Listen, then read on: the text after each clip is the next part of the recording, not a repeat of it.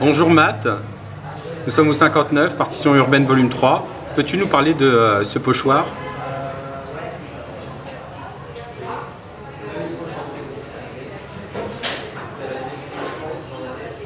Merci.